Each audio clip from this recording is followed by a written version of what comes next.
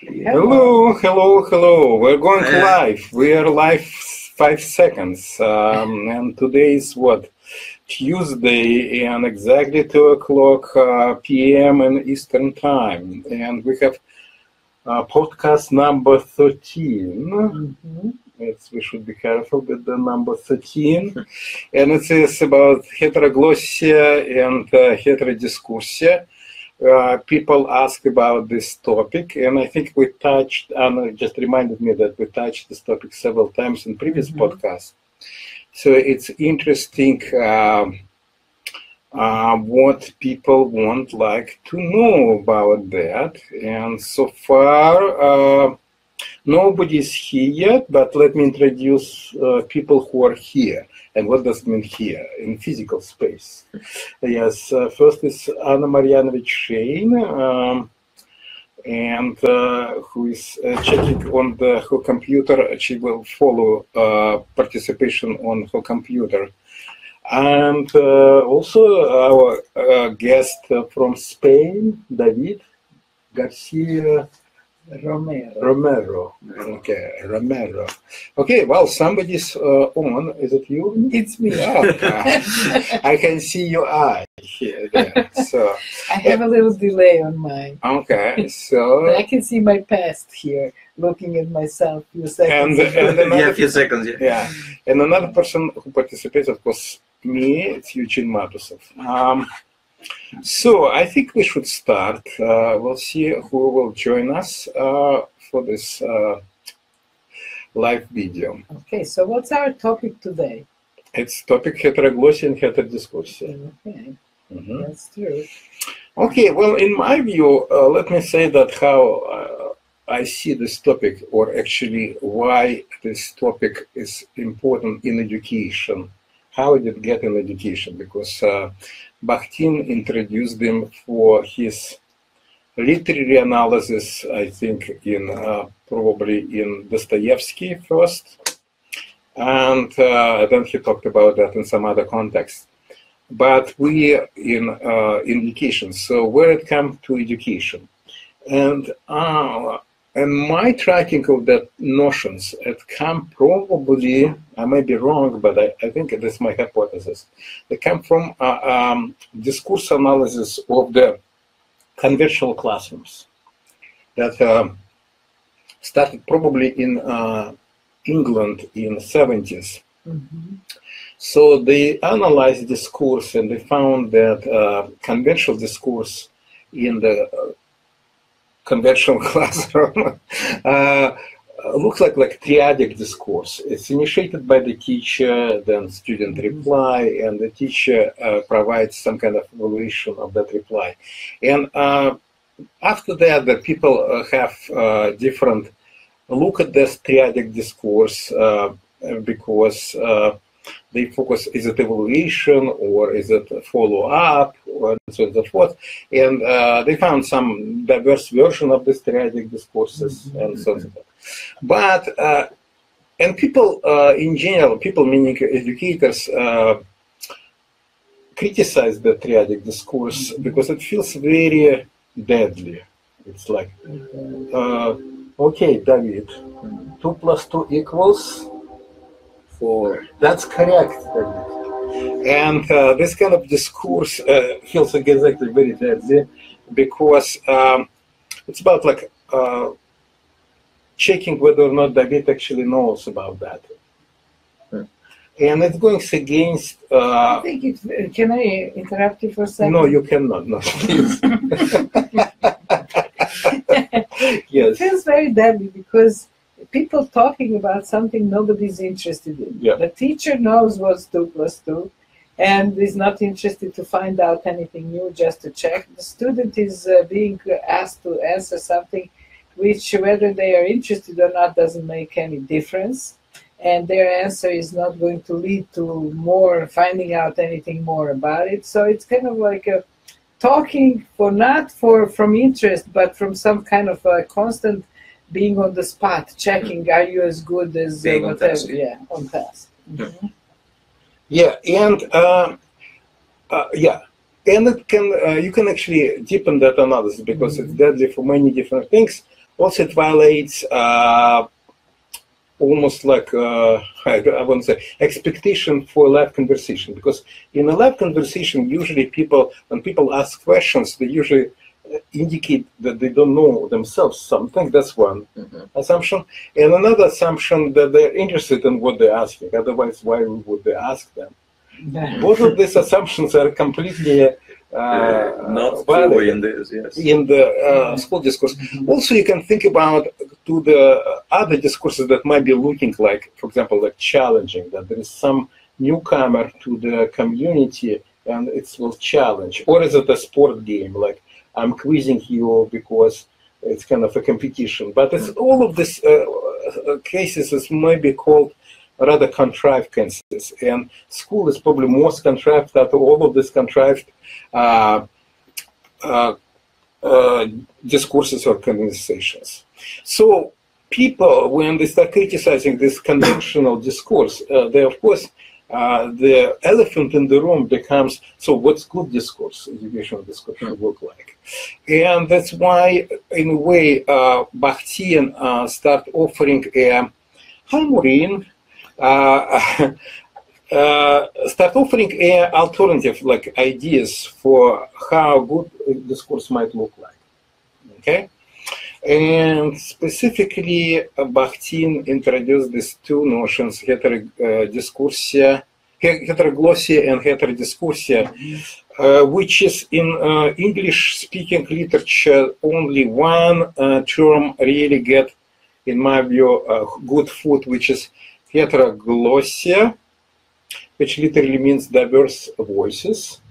And this is exactly what, in my view, Bakhtin, um, what he meant, because he used Russian word uh, разноголосие, uh, which is разно means uh, diverse, eh, or Greek word hetero, uh, very good. And uh, голосие means uh, uh, uh, voice, which is uh, gloss, I, and I suspect that Russian word golos and uh, Greek May- word gloss may come, may yeah. be Uh, the same roots. the same roots and probably coming from uh, Greek uh, language. I'm not sure. Interesting to check. So another term, unfortunately, had a very bad fate in English uh, speaking word, and probably not English speaking, but probably French. I cannot say about Italian. Um, and it's interesting to check about Italian translations because I think the first translation of Bakhtin uh, work uh, was in Italian, uh, the, his book on Dostoevsky Oh, in 60s. Actually, uh, the whole story about how Bakhtin uh, become uh, reintroduced both in uh, Soviet Union and in the like outside of Soviet Union. It's actually thanks to the Italian communists. They somehow have become familiar, some of them, with this book of Dostoevsky and with the translation of that. So the book was translated in uh, book on Dostoevsky was translated in Italian. So I don't know what Italian word uh, for uh, разноречие. In Russian, it's разноречие. So it's, it's so Bakhtin used two terms, which is in Russian sounds so similar. One is разноголосие, which is heteroglossia, and another one разноречие. And rich in Russian, in this particular uh, uh, sense, means discourse, although it has many other uh, ways, mon- other connotations and meanings. So it's uh, diverse discourses. The problem with this term in English that it came from French, and in French it was translated by structuralist uh, Kristeva as uh, uh, inter uh, yes, which is extremely, in some ways, almost like opposite term to Bakhtin, and I'm pretty sure the Bakhtin would not like that. Uh, the first person, as far as I know, pick up on this mistranslation was uh, Tsvetan Todorov, and he criticized uh, this translation as intertextuality. Uh, um, uh, uh, this term. Unfortunately, for all of us, uh, Tsvetan Todorov did not uh, translate, retranslate that word to English and or French probably, and so we know his uh, critique, but not alternative. So- Yes, that's uh, its alternative, I try to uh, create this very, uh, I would say, uh, clumsy term, and I'll tell you why is it clumsy. In one case, I like that because I tried to create a term that's a parallel to uh, heteroglossia, heterodiscoursia, because in Russian they're very much parallel. Yeah, yeah. In Uh, Serbian, too, uh, like exactly like that. Разно, разноголосие, разноречие. That sounds like разно, ra- разно means different. And uh, so I would try to keep that hetero, right? Then I used the word discourse. and the problem why is it so clumsy translation because hetero coming from Greek language and discourse discourse from Latin. Right. I was actually entertaining this uh, using a Greek word for discourse, but unfortunately it's so unknown, so it became That is it. I forgot. That's, That's why, why that's, it's unknown. that's why it's not good in my view. Uh, but it exists. You can uh, what the word discourse and translate it in Greek and see what it is. And again, for Greek folks, it will be perfect probably, but Yes. uh, for everybody else, maybe not that perfect. Amelia. Omilia, yes, Amelia. Omilia. Heteromelia. Yeah, Omilia. Heteromelia. Okay. Sounds great. But again, sorry, I uh, for the folks, I translated as heterodiscoursia. Now, you might ask why Kristeva term is very bad.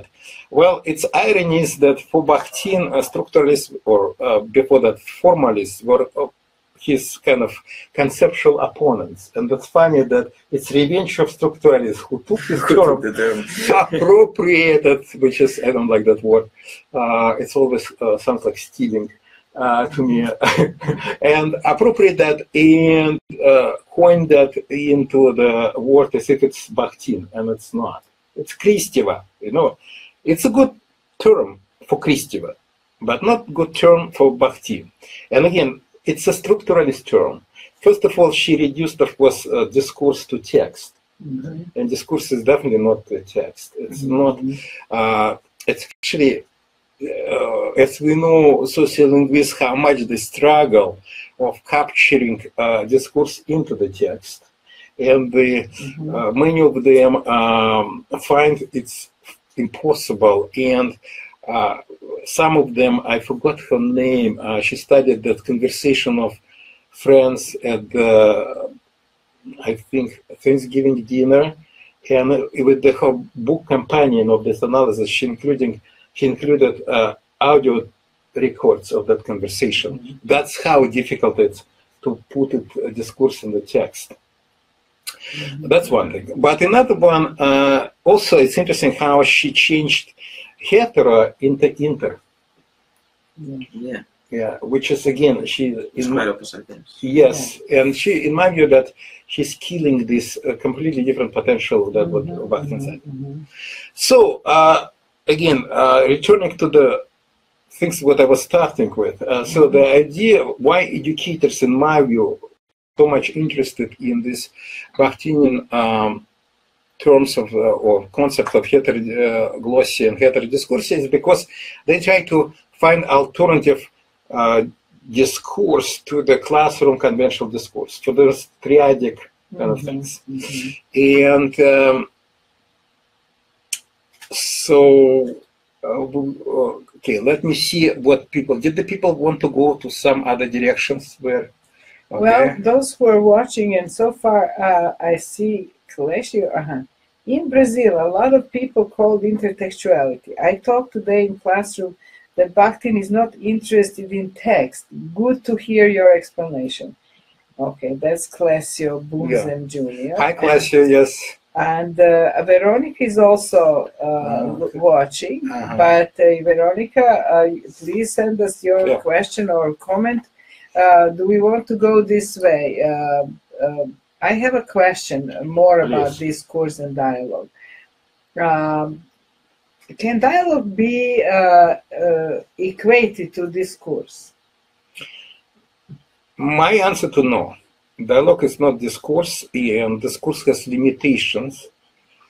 And there is another kind of a thing that's going on. Um, in my view, there is a trap, uh, this history of dissatisfaction of with conventional discourse, conventional school discourse has a trap, particular trap.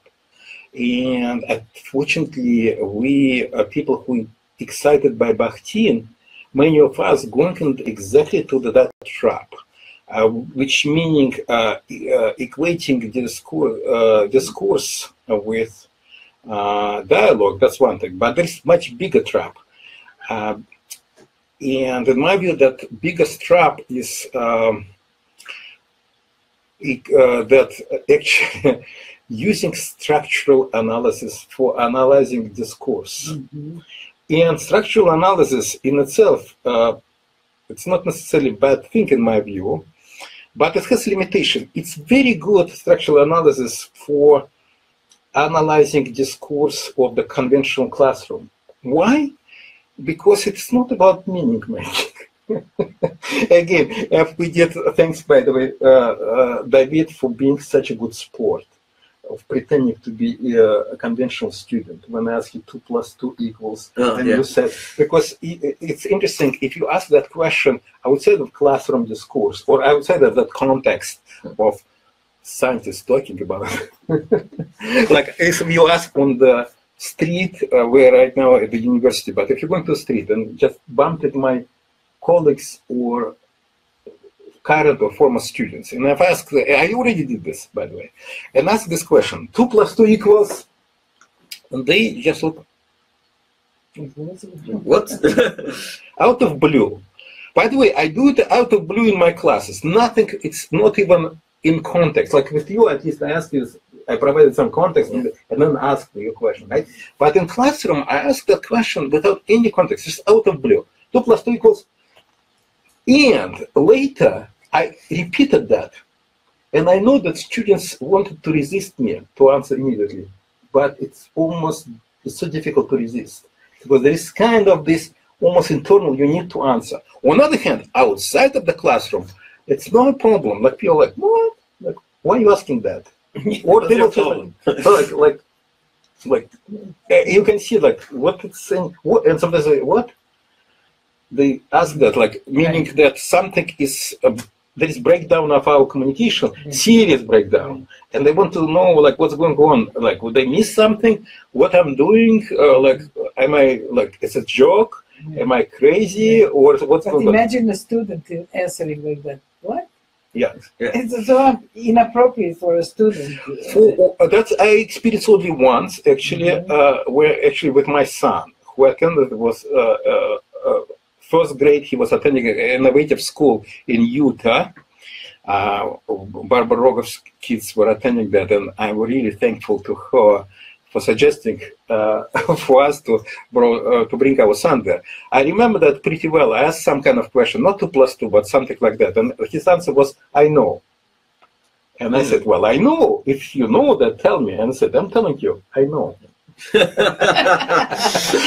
And that in that interesting circles, which is uh, very, in many ways, makes sense of breaking this conventional uh, discourse about two plus two equals what.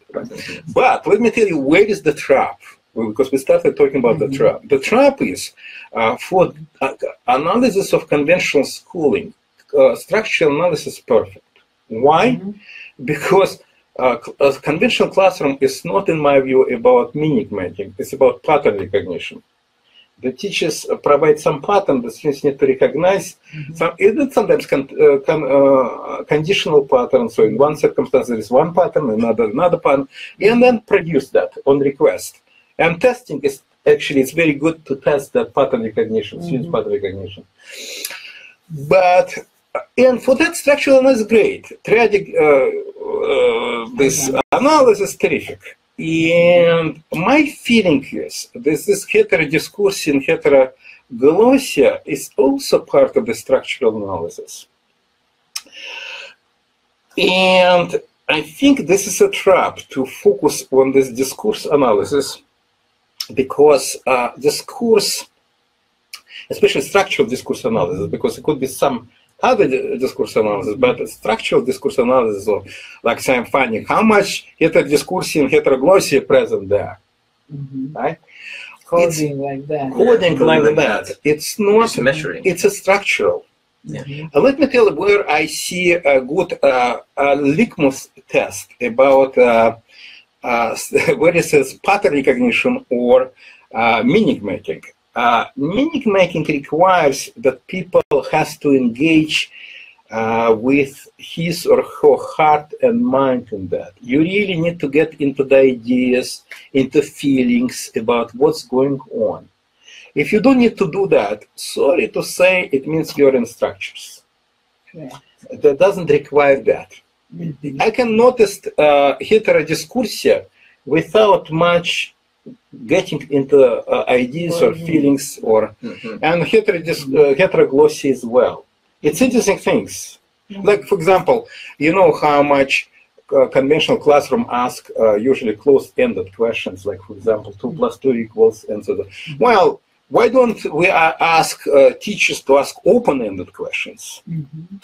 in my view, again, it's this kind of things is not uh, um leaving the sphere of the structural analysis. Right. Open-ended, Yeah. closed-ended. We're never getting into talking about what people are talking about. What Or why you do care about asking these open-ended questions or uh, closed-ended questions? What's wrong? There's nothing wrong Yeah. sometimes to ask uh, closed-ended Yeah. question. It, it still will be different from the closed-ended question that uh, asked usually in conventional school. Although it still will be closed-ended. Yeah. There is a lot of closed-ended questions uh, that are very meaningful. Yeah. Like for instance, you can say uh, in a store, I can look at two blouses and say, which one do you like better that I should buy, this one or that one? Yeah.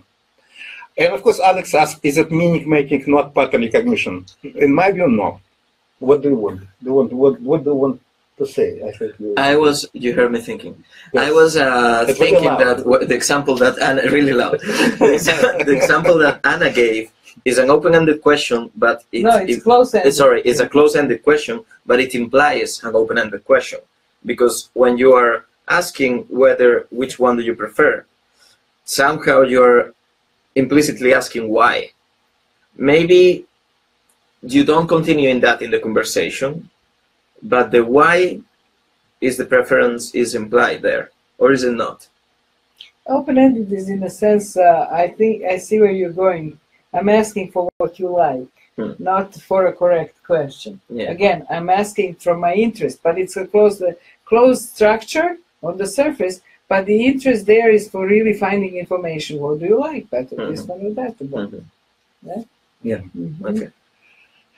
yeah. Uh, so uh, Alex asked a question whether or not. Uh, by the way, can I see? I'm seeing all the people, right? Okay. Uh, ask whether or not me, making, and uh, uh, we discussed that in some podcast about that. But no, uh, meaning making and pattern recognition is not the same. And uh, the pattern recognition, this is what this is why it's so exciting what's going on with technology right now because it's based on pattern recognition, and we're going so far ahead with the Siri, with this Alexa. Alexa, with Mhm. this uh, hey hey Google. And uh, also self-driving cars and all that. But what's the difference between pattern recognition and meaning making? mhm. because this become now interesting. Mm. Like, why can't meaning making be uh, uh, uh, coded in a structuralist way? Well, because again, uh, meaning making cannot be meaning making is very ephemeral things. It's a relationship, first of all. so, So it's not like us it- an example, really juicy example. Well, our juicy example is the whole conversation that we have right now. That's our juicy, the most uh, juicy. But again, if you ask, uh, like, uh, again, uh, meaning making in logic, like one, two plus two equals four. And again, as soon as in making, the problem is with meaning making, you cannot capture that. And that's already anti-scientific in a way. You cannot operationalize meaning making because it's ephemeral. It constantly escapes. So when I'm giving uh, meaning making, in a way, I'm playing with meaning making. It's not real meaning making because Yeah. you cannot Example is capture. already finished. Example already finished, and it's already become part of discourse that you can look at that, and that kills it. Mhm. But nevertheless, I, I can give it to you because it's very difficult otherwise to talk. And I hate when people uh, sometimes uh, what I call uh, mystify things, Mhm. and I don't want to mystify meaning making. No. Although it's very good, it's a good candidate for mystification. Yeah. right. So let's say we in this uh, since I love math, uh, let's we get to this example of two plus two equals 4, that's, uh, that meaning of that will be defined what kind of questions strength you have and trying to answer, and counter questions about that. Like, why, uh, what does it mean 2 plus 2 equals 4? What do you mean by this? By the way, that's mean. But with this, you need to be really interested in that questions. Right now, we are probably not. But you really need to interested, like, why the hell we asking the question? Why we should drop everything in the world and uh, and start thinking about two plus 2 right? When it's true, when it's not true. Like uh, my favorite example: four friends, two friends plus two friends, not necessarily For four friends, and it's actually not necessarily even We don't even know how one many. It's Yes. impossible to answer. yes. Maybe and- none, maybe yeah, one, yeah, maybe right, two, maybe right. three. And is it interesting? Like, can be a two plus two equals, let's say, five or three? And yes, it is possible in from mathematical point of view. But again, all of this uh, will become in the relationship between people uh, having questions or asking or having inquiries or mm-hmm. having tensions, and mm-hmm. which they really concern and serious answer to mm-hmm. that. Mhm. Okay, and the serious answer can be a bit of joke as well That's but it right. is uh, it has that serious concern about that things unless it's a there is a change of the topic or will be heter Right. you're moving to another something something else so and uh, this is not uh, pattern pattern recognition is uh, is you can grab that. That's because it's called pattern it's defined by sh- form. And self-contained. it's self-contained. Yeah. Mhm. yes. So it's not in the relationships, it's not in the context, it's not in the whole constellation where it can change with everything, but it's standing there on its own. Yes, yeah. and the problem is what technology right now have within. I don't know if how much you guys want to go in the pattern recognition, not to return heteroglossy and heterodiscoursia, but if you look at about pattern recognition, one of the exciting part of that that uh, technology still could not uh, develop pattern recognition that organic system uh, develops. We're still in the mechanistic pattern recognition and not even organic pattern recognition. And um, mm, the difference between them, the pattern recognition, by the way, there is another things about pattern. It's not only pattern recognition, but pattern production. Um, and that's why we have like, for example, writing, I need to, or uh, language, I need to produce certain patterns and uh, not only recognize, but produce certain patterns. And uh, Alexa, all of this, not only doing pattern recognition, but pattern production as well. But uh, besides that, any pattern based on bias, Mhm. there are certain bias that, that define the shape. Mhm. And the problem is that mechanism don't have biases. Why do you say any pattern has a bias? Well, in order to find, uh, l- let's say, for example, uh, the pa- uh, let's say Siri, if you take Siri, right? Mhm. Well, when you ask a question, let's say uh, today I ask a question, Siri, play NPR. Mhm. the- it should recognize my pattern. From Siri, there is not, uh, Eugene didn't ask anything, but for Siri is a pattern of the sound. Uh, oh, there is sound. There is no pattern, but there is a sound stream, right? Mhm. So you need to find a pattern out of that, uh, and that pattern is pretty unique because I cannot even repeat what I said myself in the same way as a stream, right? Mhm. So it needs to find a so-called what command I gave to Siri, and this is the bias. Mhm. Okay. Yeah, so what, to find one out of possible, who knows how many. Yes, of the So command. it kind of like it's a biasing it toward more probability that you said that than something else. Yeah, but this is this or that is a biases Yeah. in the system. The problem is that right now in all mechanistic system, the bias is brought by humans. It's outside of mechanism itself. In any o- a life organism, like say in bacteria, bacteria is uh, has biases, which means it's attracted to something, is Repelled. repelled to something, and it's neutral to something else. Mhm. And that bias is part of life of the bacteria. And in Siri, there is nothing like that at all. Because it's not a alive. Exactly. And this is what I'm saying mechanistic uh, pattern recognition versus organistic. But even organistic pattern recognition has nothing to do with meaning. Mhm. Okay. And that's why I think uh, the structural uh, uh, uh, discourse analysis, which is very much interested in heteroglossia, heterodiscoursia, in my view, it's a trap for us. For us, meaning people interested in Bakhtinian dialogic pedagogy Mhm. and researching it as well. Mhm. So um, there are people who are analyzing dialogic uh, pedagogy as a discourse, Yes. Mhm.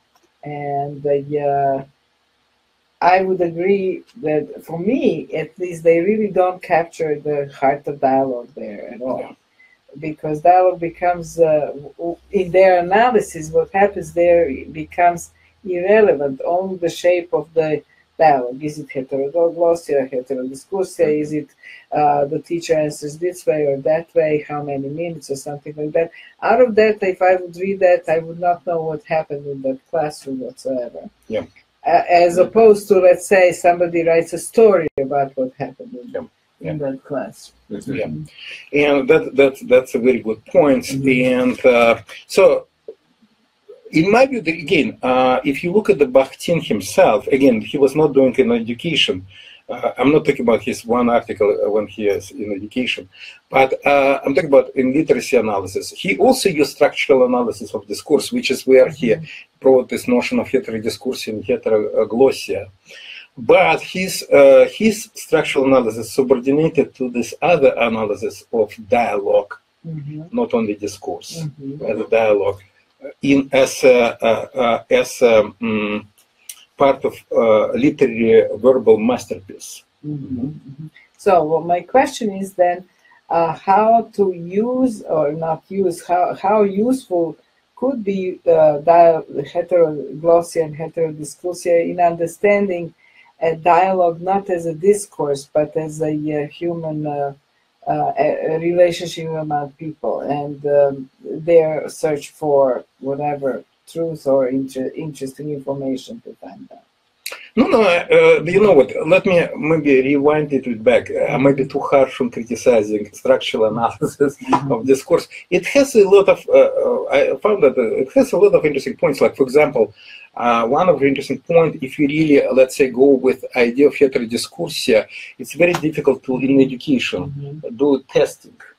Uh, because uh, heterodiscoursia, like, let me give a, a specific example. Uh, my favorite example, although uh, mm, that I came to that independently from an, uh, my colleague who uh, used okra. I since I don't like okra, I use tomato. So example, uh, but it's Tony Whitson. Uh, okra is a plant, but Mhm. uh, my example is about tomato since I don't like okra. Okay, and so the question is like, is tomato an uh, a vegetable or fruit? What do you Okay. think then? Is tomato a vegetable or a fruit? I actually don't care, but I think all fruits are vegetables. All fruits are vegetables. Is it the other way around too? No, All fruits are vegetables. The Okay. total vegetables are true fruits. And why you think that all fruits are vegetables? because for me, vegetable is uh, equal to uh, plant. And fruits It- are they- not. it- there is some difference on Mhm. the definition between Spanish and English, Mhm. so I am ca- uh, Mhm. rather confused now. You see, he's so con- uh, confusing person. If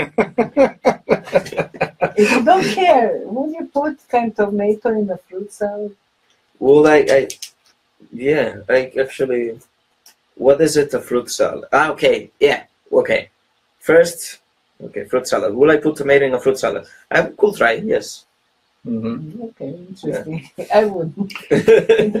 Why wouldn't you? I would not eat it Why not? uh, Mm, It because doesn't uh, go together well yeah. with the oranges and the, the uh, watermelons. Would you put orange in a normal salad?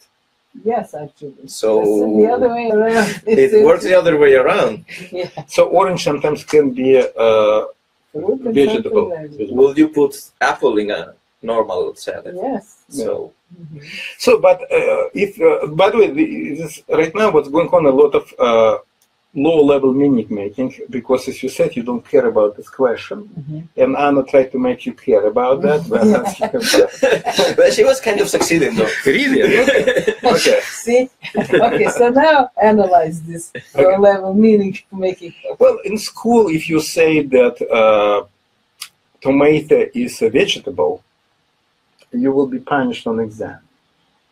Because, of course, as we all know, all rational people, well educated people, that tomato is a fruit. What the question is? What's the question is? Yes. Is Well, the question, rather, uh, if you well-educated person, rational, which I Okay. start down doubting about you, because the question is, how do you? What does it mean? How do you know that tomato is a fruit? That's Because we that's learned in school.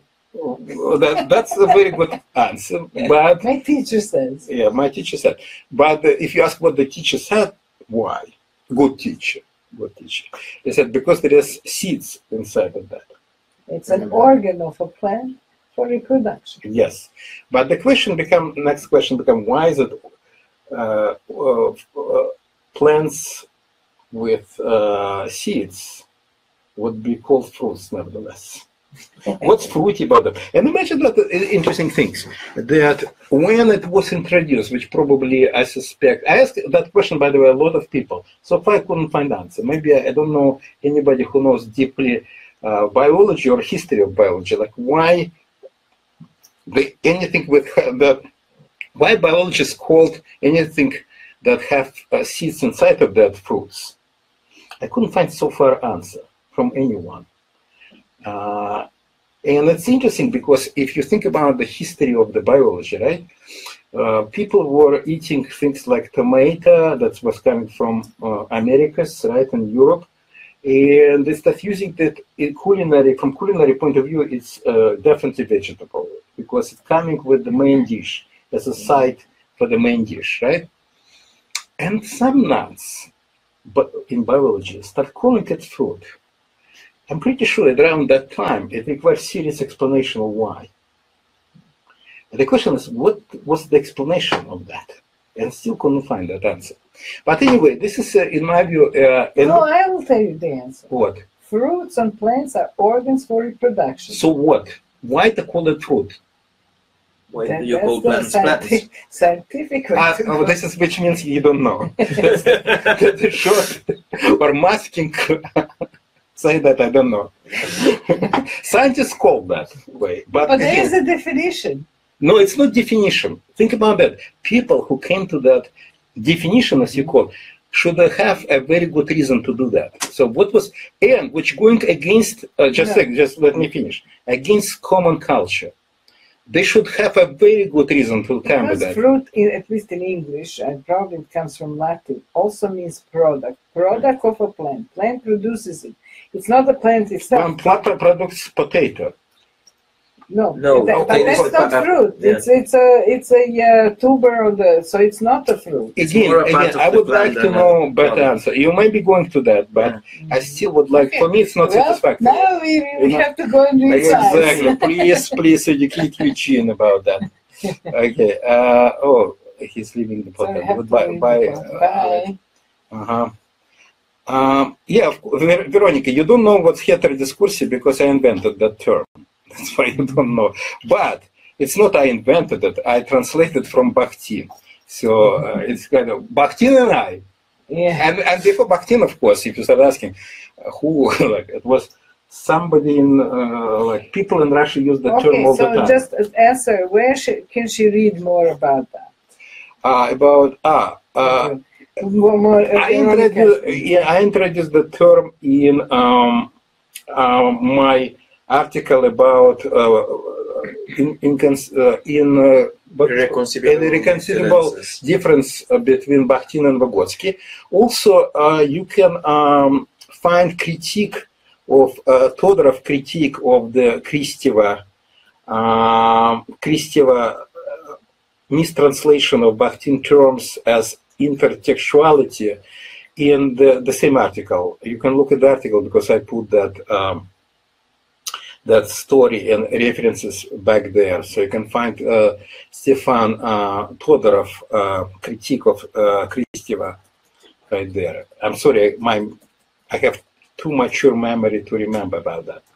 But back to that, what what I I, I want just to bring this point about uh, goodness of the structural analysis. It's not like bad thing. Mhm. Uh, Okay. It might be unsatisfactory thing. Why is it not bad thing? Because it disrupts uh, a lot of about conventional classroom. Mhm. About as soon as you start introducing, uh, bringing this uh, heterodiscoursia, it means uh, you cannot do. You should be careful when you do things on the test, because the students can, uh, of course, be right by bringing some kind of other context and other activity Mhm. uh, right? And so, uh, for example, so tomato for culinary activity, tomato is uh, vegetable, and at least in some cultures, Mhm. culinary cultures.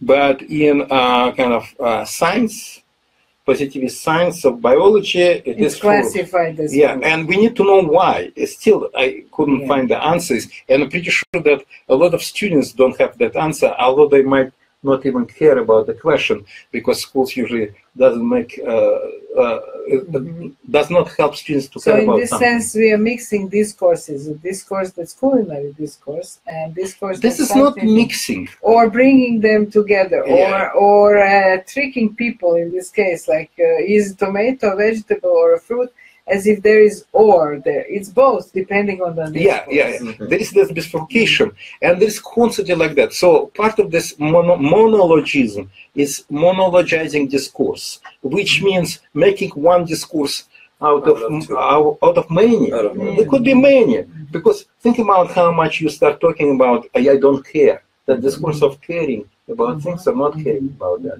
That's another type of discourse. Really, all of them related to each other one way or another, but loosely related, and we can uh, we can go with them. And and kind of uh, so the good pedagogical dialogue do, should uh, have this uh, aspect of hetero uh, discursivity, maybe. Another new word, um, and also uh, we can discuss heteroglossy if somebody interested in that. Okay, okay, yeah, good. Um, ah, Ana put that. Yeah, thank you.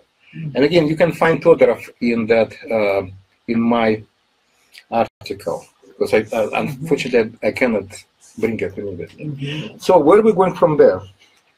PayPal. okay so we were talking about discursive dialogue and we were talking about dialogue is meaning making and is there any other approach to dialogue because you said at one So point- you're not very much interested in the heteroglossia. No, oh, okay, that may be my question. Uh, No, no, it's fine. It's fine because since we're discussing, like, we should talk about something that we're interested, not about. we are, but we can somehow talk about the, both things at the same time because you just said good pedagogical approach to should engage in heteroglossia and heterodiscoursia, heterodiscursivity. Why? Uh, that's Yeah, that's a good question. Why? Well, because uh, again, uh, we're talking about a dialogue. So this idea is purification of uh, both in terms of the uh, words. So the words should be your or somebody's. Pure, pure words. Uh, It's like plagiarism, right? Yeah. Okay. Like, like No issue of plagiarism. It's, uh, you should not use the words of others. And if you're using, you need to immediately tell that it's others which is to some degree it's rather crazy things because like think about that i'm using words of Todorov well I'm glad I, I created him but there is a pretty sure i'm using, using using words of many other people who might stop even recognizing that i'm doing that Mhm. and you know eugene you have to be a minus three points for plagiarism Mhm. uh, this constant concern about purity of the word of the words of the voice Mhm. uh, is uh, it's very monologic uh, concern, as well as purity of discourse or purity. Like sometimes they say, you have to stay on task. This is again purity of the task, and it should be only one. Mhm. I think uh, when you talk about purity of the voice, uh, uh, so now I'm confused. Uh, Bakhtin also talks about uh, double voicedness. Yes. So that through your own words, you can actually hear the voice of somebody else. Right. But this is, is that what you meant? Or just, Yeah, no, no, but I'm just saying that the school very much concerned about that because it's kind of bad things. It's plagiarism. But sometimes is it like when I hear myself saying something to my son and suddenly said, Oh my God, I hear my mother speaking. I should delete it said, as my mother said. Well, from school point of view, yes. But you actually bring another very, very interesting topic, in my view, about uh, uh, hetero, uh, heteroglossia. And heteroglossia is not parallel to heterodiscoursia, in my view. no. Uh, what you borrow that, uh, Bakhtin introduced that notion of heteroglossia Mhm, in kind of almost always in negative context. mhm. uh, which is uh, it's kind of a very symptomatic of underground people who hear hostile voices constantly in them Mhm. Mhm. and trying to deal them and uh, they deal with the kind of res- uh, and they deal in different ways sometimes it's kind of what he called excessive dialogism sometimes it's kind of a joke using authority voice changing that into joke like Mhm. ambivalence Mhm. that. But again, if you think about it, it's always kind of a struggle against somebody, and not good struggle. It's a struggle with authority, Yeah. struggle with oppression. Mhm. So the question is uh, whether or not heteroglossia can exist uh, in kind of positive, affirmative things, uh, Mhm. like a welcome things, rather than a mark of uh, mm, uh, a mark of oppression. Let me give one example of this kind of things, which is a kind of uh, political Soviet political Jewish joke. And Soviet Union, uh, there was time when uh, Jews uh, were allowed to leave Soviet Union and then they were not allowed to leave Soviet Union. And that was uh, uh, Ronald Reagan, President of the United States, who was uh, heavily arguing for uh, freedom of uh, people to leave country. They want to leave country, especially for Jews. and he was visiting Soviet Union. And the joke was about that KGB called people, Jewish people who wanted to leave but were refused. It was called refusenik or in Russian отказник. Uh, and they called them and said, you know what, uh, uh, President uh, United States Ronald Reagan going to uh, come to Soviet Union, and we know that he will want to meet with you. And when they ask, uh, when they will meet with you, you should need to tell him, Ronald Reagan, we're not going to, we don't, we're not going to leave Soviet Union. If you don't say that, you will go to the Gulag. Mhm. Mhm. Okay, well, uh, Reagan came and uh, met with Soviet Jews, uh, refusniks or uh, отказники, and they told him, Reagan, we don't go to, we're not going to leave Soviet Union. So they repeat the phrase, but with question mark, which is in Russian is possible. You don't have to change the phrase, but it become kind of double voice to the authority Mhm. instead of uh, being uh, affirmative statement about intentions, It's it's just- become questioning and actually ask for help Uh-huh.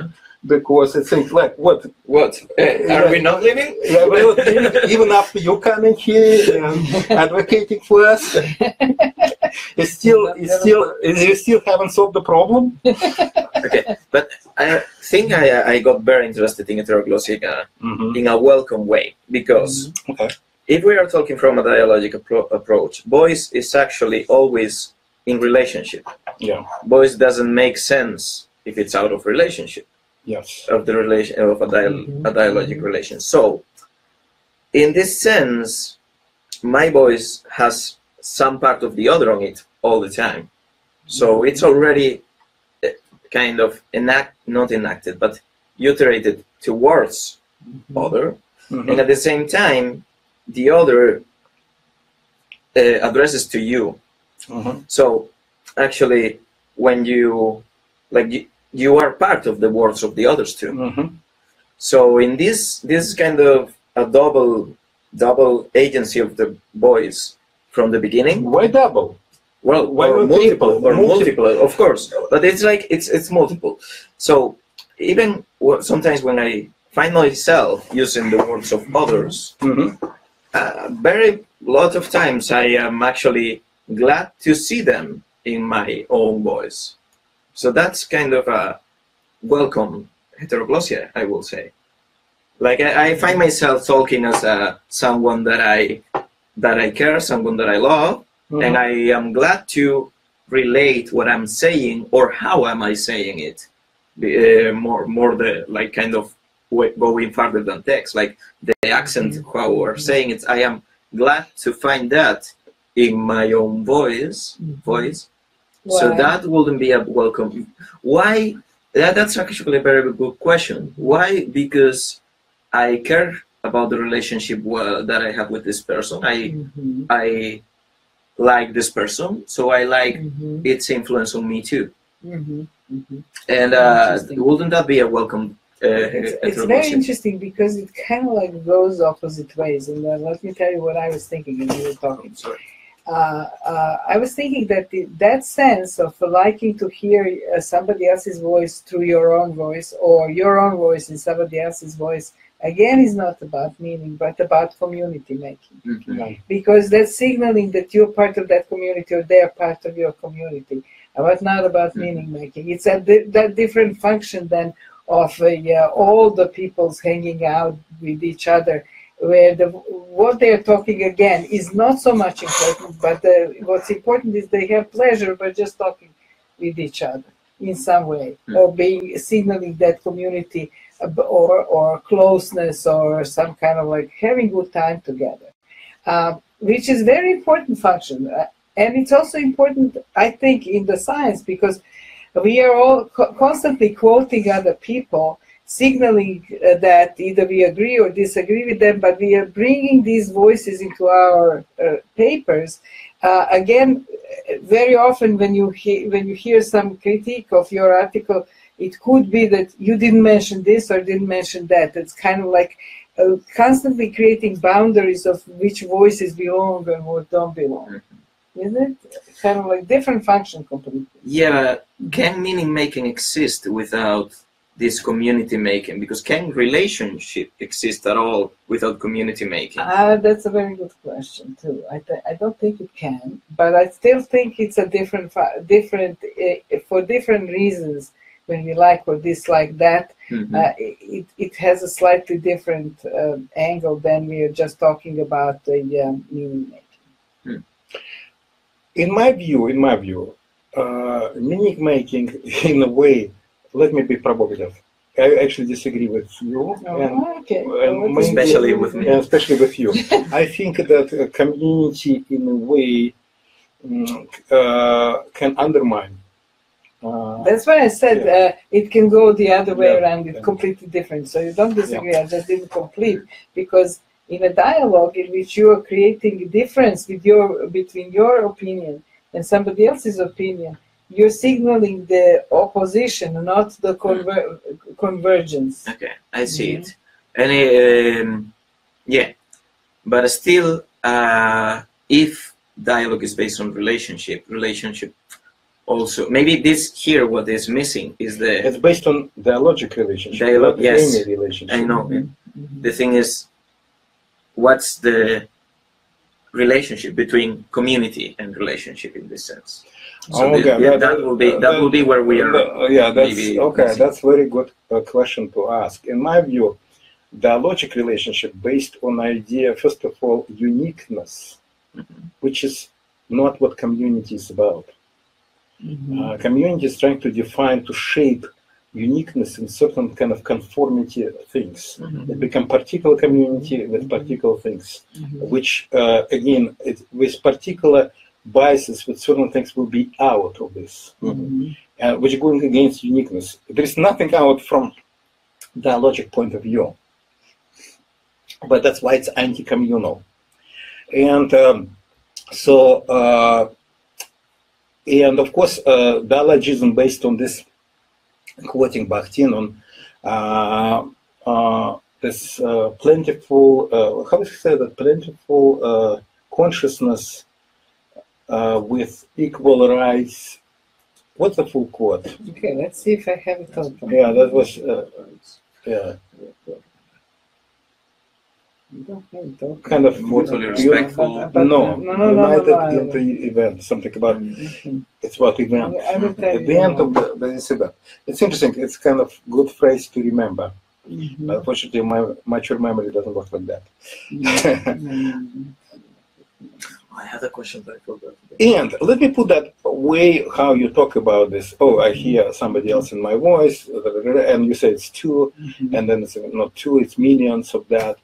In my view, there's more interesting things about that. Uh, what Bakhtin's point about not having internal territories, everything happened on the boundaries, and that's why uh, talking about what's inside of that, it become kind of how to say that uh, vicious circle. Then I have you inside of me, but you have me inside of you, and you have. It, it then becomes very difficult to understand what you means because everything starts inside. uh, inside. and many things uh, there, and each of the things has many things, and each of the things have many things. So things start authorship start collapsing, Mhm. hmm I see. and that's why I'm really suspicious about the Yeah, so here is your. uh, uh, heteroglossia. Hmm? your yeah, quote. the quote, please. Uh, Bakhtin talked about the plurality of consciousnesses with equal rights, and each in its own world, and combined but are not merged in the unity of the event. Mhm. So the plurality of voices combined but are not merged in the event, and each consciousness has its own world. hmm You know how I always imagine that it's a, it's like a, um uh, wherever you're touching each other, there is a, a potential that you will find your own skin, kind of Mhm. like where is the boundary of your own meaning, but you know, can never merge into because then the boundary breaks and there is no meaning anymore. hmm So in my view, the boundary is more important than all these unities, which is Mhm. communities representing. hmm That's why I think dialogue is anti anti communal. Hmm Nevertheless, it needs community because people need to communicate somehow, need to get in touch, need to say each other opinions, and that can be also under certain circumstances you cannot do that. Actually, the, if I may interrupt, the, uh, uh, meaning is on the boundaries, but it- Mhm. again, for having a boundary, you need two unities or several unities. You need unities for the boundary be able to exist. Because Uh, otherwise, there is no one. There, there is. No, this is not necessarily true. Actually, uh, it's a boundary that create what you call units, not the other ways around. It's in that. Uh, Yeah, in it's a boundary that defines the unit. Yeah, it's and creates it. in Yeah. yeah. Hmm. So I think we might finish on that. The only thing I want just to add uh, that this uh, attempts to this uh, structural analysis of discourse. Uh, there are many interesting uh, developments, like uh, uh, that Dmitry Nikulin, for example, introduced another interesting aspect of this dialogic discourse, structural aspect of dialogic discourse, what he called inter, inter, interruptibility. Interruptibility. Yeah, so- Interruptibility. you know, we constantly interrupt each other, and that's part of the meaning that we cares about what we're saying. and all this politeness about listening to the end, it's actually can be uh, that here. Uh, Dmitry Nikulin argues that it can be um, a marker of the monologic culture. That uh, you have to finish. Well, why is it unilaterally defined when you finish? Since it's about us Mhm. and that's why this in, and, and of course you can turn things around like who you are to interrupt me right but that has to be negotiated in a way but Mhm. both of them uh, interruption and non-interruption should be welcome in a way rather Mhm. than we right now uh, get to this western middle class culture where interruption is a bad thing actually i came from the culture. i came from the culture when interruption is good. Did you see how we nicely Yes. interrupt each other? Uh, yes, and, me and, and fighting and fighting and, Yes, talk- and working and talking And at the talking same at the same time. and everything is okay. and everything is okay. And sometimes not okay. No, and Is, sometimes is, not. is it stop listening to you a kind of interruption? yes Okay, Yes. so I was also. yes yes yes and, and going with your own thoughts Mhm. and which consider be disrespect in mm, western culture when you carefully be good listener Take your turn. yeah because, and finish to at my go for one year. But no, so But now my to- question to turn it around. If you are socialized into that kind of uh, a culture, Yeah. this is how you operate. For that, for you, it's normal. That's why I'm saying community is enemy of dialogue. because the community does that. Right. Even the community of interruption. Well, in, community, in this case, community is correct. well, you contradict yourself. right, well, why? okay, I think we are running more than an hour. I think maybe and everybody left us except us. Except us. It's only us Yeah, here. uh, which is, by the way, another interesting thing No, about. Veronica is still here. Is Veronica No, here? no. No, she's not. It's It's, only it's me. a record Oh. of Veronica. Yeah. Is here, but Yeah. she's when the memory of goodbye, her. they The memory actually took us for serious. They. But- they don't have this Jewish. you know what's the difference? That's a Jewish joke between the uh, the Anglo-Saxons and the Jews. You know, the Anglo-Saxons, uh, the- the Jews say goodbye, but they don't leave. Mhm. But the Anglo-Saxons uh, don't say goodbye And and, they they leave. Live without saying goodbye. yes. and uh, say goodbye without leaving. Yeah, yeah okay. I think it's a good uh, uh, uh, place to to, to stop, and uh, let's see what people will suggest to discuss next time. By the way, feel free to kind of start something and discuss with us or without us. Uh, thanks a lot, and see you next week. Bye. Bye. Bye.